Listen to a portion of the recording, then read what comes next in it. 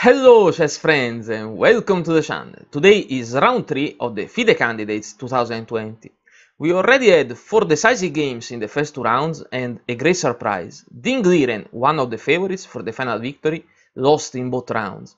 Today with the white pieces he played against Fabiano Caruana in top shape. Let's review the game together. So Ding Liren with the white pieces opens with d4, Caruana answers with d5, c4, c6, knight to f3 and knight to f6. After knight to c3, here comes d captures on c4. This is the main line of the classical Slav. a4 is preventing b5 that will defend the pawn.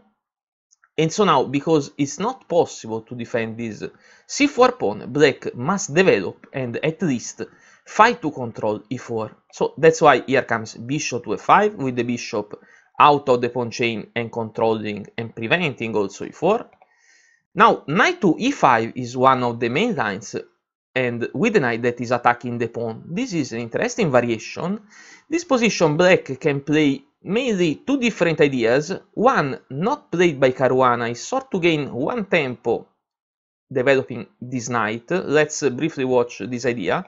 If knight in b moves to d7, knight captures on c4, knight to b6 protected by the queen, it's better for white not to e-change after knight to e5 and black will continue his development with three pieces already developed.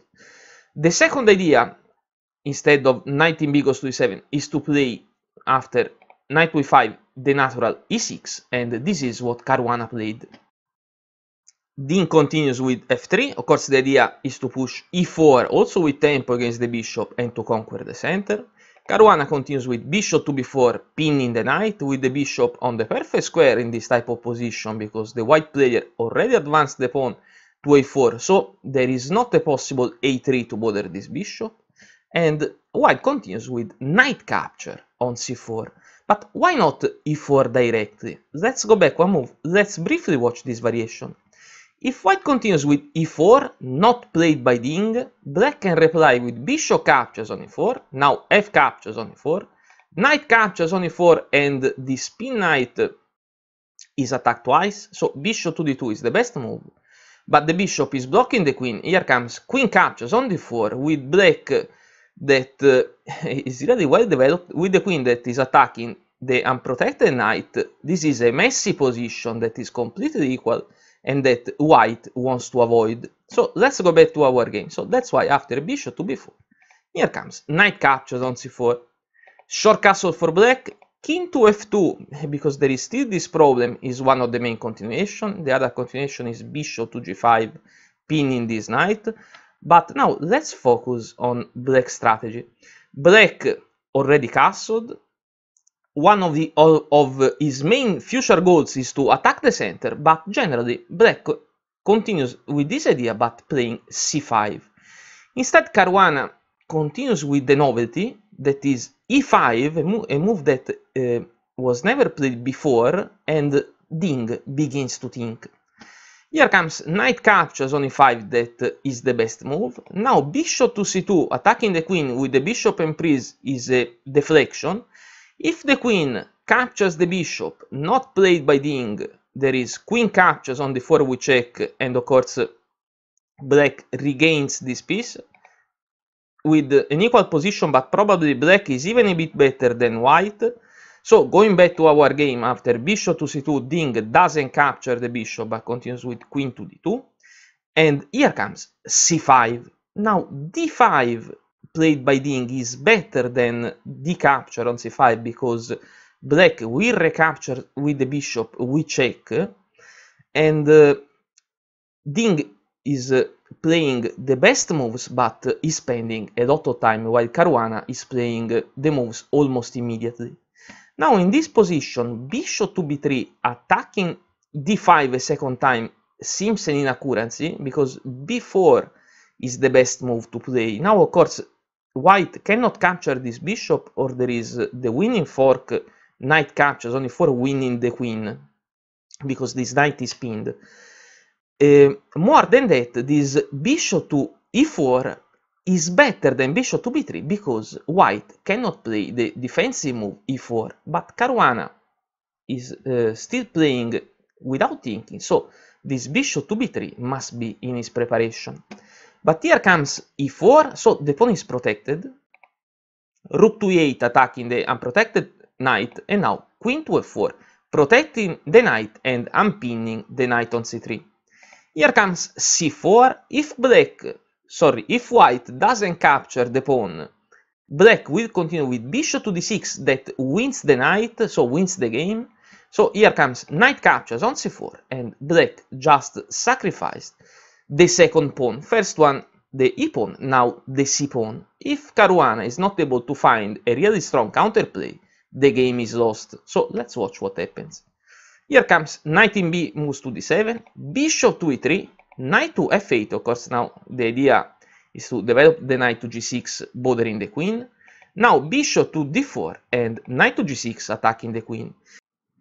Now it seems that queen back to c1 is the most precise move. Instead, Ding continues with queen to f5 that, in my opinion, is perfectly fine, but black's preparation ends here and Caruana begins to think. And what he does? He does that uh, at first uh, he, he, changes his worst piece that is uh, this sort of trapped uh, bishop. Bishop captures on c4 is a good idea. Of course, the bishop recaptures. Now queen to c7 attacking the bishop on c4, bishop back to e2, and now another piece change, bishop to c5. Bishop captures, the queen recaptures, we check. King to f1, and the problem for white is that the rooks are disconnected again. Here comes h6, rook to d1, probably a better alternative is g3 with the idea of king to g2. Now queen to b6 attacking b2, and also watching this uh, g1 square, this diagonal. Now rook to d2 protecting the pawn, and queen to e3 attacking the rook. Rook to c2, here comes a6, not only limiting this knight, but also with the idea to push b5. Queen to h3, because this is a good idea, because Ding wants to bring back the queen in an active position, not only defending his king, but he wants to bring back the queen to the center of the board, and the only way is through the king side. Here comes b5, and of course in this position, if white captures, the game is lost. Let's briefly watch this uh, idea. If a captures, there is a captures, then nothing can stop rook to a1, and this is a big problem, even if the game is not uh, completely lost, but um, black, in my opinion, will easily win the game. Let's go back to our game. After b5, of course, Ding doesn't capture. Instead, here comes queen to g3, and the idea is what we said before, to bring back the queen into the game. Here comes b4 attacking the knight. Knight back to d1. Now queen to b3 attacking both a4 and the rook. So rook away, rook to d2, and queen captures on a4.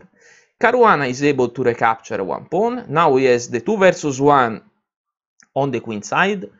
Luckily for him, this is the only good feature in this position. On the other hand, uh, white has uh, um, this material advantage because he has one pawn more than uh, black, but more than that is con completely controlled in the center with this strong connected pass pawn on d5. A bad feature in this position is that this rook is still undeveloped. So here comes queen to f2, that brings back the queen into the game. 10 moves to play, 10 minutes on the clock for Ding, and almost 1 hour for Caruana. But it seems that Caruana was not able to find enough compensation for what he sacrificed, not only with material, but also with the, the position after this opening. So not uh, enough counterplay. Queen back to d7, here comes g3, this, for this idea, of course, to bring the king to g2. So that's why here comes queen to h3, we check, king to g1, and now a5. Queen to d4, knight to h5, and even if uh, it, it already was a problem for black to find a good strategy, a good counterplay in this position, now this knight to h5 is a bad move. It's a bad move because here comes knight to f2 with tempo against the queen, queen back to d7, and now f4 is a problem because it opens the discovered attack of the bishop against this unprotected knight. If the knight moves back to f6, here comes at first e5 and then d6, with a completely win position for white. So this is a total disaster. Best thing to do is what Caruana played, is to sacrifice one knight here on f4. Knight captures on f4, the g captures, and the knight recaptures on f4. Now king to f1 not only is improving the protection of this bishop, but also clearing the g file for the rook, because the queen is already watching g7. Here comes queen to d6, and now rook to g1, threatening checkmate in 1. f6 is the best move, and luckily there is, not lucky because Caruana brought the queen to d6 for this idea, because if there is not the, the queen here, um, white can also capture because this pawn is pinned. Now bishop to b5 attacking the rook and rook to e7. Here comes b3. Rook to f8, probably better rook to c8 with the rook on the open file. Anyway, this is move 40 and the game is completely compromised. Move 40 um, with the players that just reached the time control ending also solved his only problem that was time on the clock. So he continues with rook to c2, now it's white that conquers the c file, knight to e6 attacking the queen because the pawn is pinned, queen back to e3 and now knight to g5. The e pawn is pinned, what happens? It seems that uh, black can play f5 but it's not like that because uh, white can counterattack the black queen with rook to c6. Not only that, there is a terrible weakness in this diagonal and the king is on this uh, weak diagonal. So no counterplay yet for black. Here comes h4, attacking the knight. Knight back to f7, at least now the knight is shielding the king on this diagonal. Here comes rook to c6, attacking the queen. And queen back to b8, attacking the bishop. Let's go back one move. Now in this position, black can't win the pawn with the uh, queen captures on d5. Let's watch this simple tactic. Queen captures on d5, also attacking the bishop, losing is losing the game because there is the simple rook captures on g7 with check. Now, if the king captures, the queen moves away, and of course the black queen is lost. And after rook captures on g7, if king to h8, there is rook to c5, protecting the bishop, attacking the queen, queen back to d6, now rook to g6, and it's a big problem because here comes king to h7, h5, and after bishop to c4, white will try to change the bishop on the knight, only defender of h6, and it's almost checkmate. Let's go back to our game. So that's why after rook to c6 attacking the queen, the queen cannot play um, any tactic. So queen back to b8 at least attacking the bishop. Now queen to c5 protecting the bishop and attacking the unprotected rook. Here comes queen to d8 that is not the best idea because the most precise move is queen to d6, not only protecting the rook but also protecting f6. But what is the idea? The idea is that white will change the queens in a winning position so after queen to d8, here comes rook captures on f6. The pawn cannot capture because it's pinned. So king to h8, and now rook back to f5. Rook to c7, attacking the queen. Bishop to c6, shielding the, the queen and closing the c file. And here comes a4 with the idea to advance to a3 and create a pass pawn. This is the only possible counterplay that Caruana has on the board.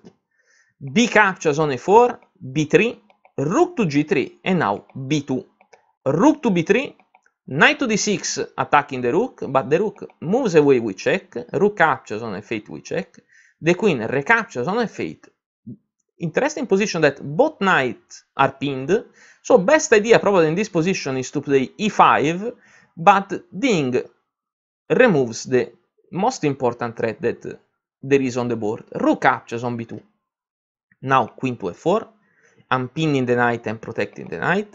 Rook to b8 with check and king to h7. Queen to c2 with the idea that uh, there is uh, this discovery check. Queen to e5 probably is the best defense, but uh, there is nothing to do to hold the game in this position. So here comes rook to e7, but now e5 comes with the discovery check. Knight to f5, In this position, the most precise move not played by Ding is d6, attacking the rook. Rook captures on e5, and now bishop back to e4, attacking a second time this pinned knight. Here comes king to g6, but there is d7, d8 with the pawn promotion, and of course, it's game over. But let's go back to our game. After knight to f5, we said d6, best idea, but here comes queen to e4 that um, that is a simple simplifying move. Now, of course, if black he changes the queens, it's game over. So Caruana desperately tries to keep the queens on the board with queen to c1 we check. But here comes king to g2 and now g6 protecting the knight. In this position, unluckily for black, everything works well for, for white. Best idea again is to advance the pawn with d6. Instead, Ding continues with rook to b3, but uh, even uh, if rook to b3 is not the best move, Caruana resigns because there are no good moves to play. Only uh, idea that uh, I'd like to show you, probably one of the most sensible continuations now for uh, black is to play queen to a1 that it seems bothering um, e5, but uh, white can simply play rook to b7, then it we change the rooks, and of course with less material on the board, the victory is simpler than before, also because white is two pawns up and a piece up. So, uh, because the other three games of the day ended in a draw, with this victory, Ding is back on track and Caruana didn't lose too much, is just half point behind the leaders. What happened in the game? It happened that Caruana played an interesting novelty uh, that could be probably refined a bit better because I'm talking about that bishop to e4 instead of bishop to b3 that was much better. But anyway, Ding, even if losing a lot of time, he was able to find the best moves and after playing the best moves, he was two pawns ahead, but more than that, uh, he was controlling the center with an important pass pawn. At the end, uh, Caruana was, uh, was not able to find enough counterplay and Ding easily won the game. In my opinion, this was a nice game that uh, I also hope that you enjoyed, and if you did, please don't forget to like the video and to subscribe to the channel. For now, I thank you very much for watching and see you tomorrow. Goodbye!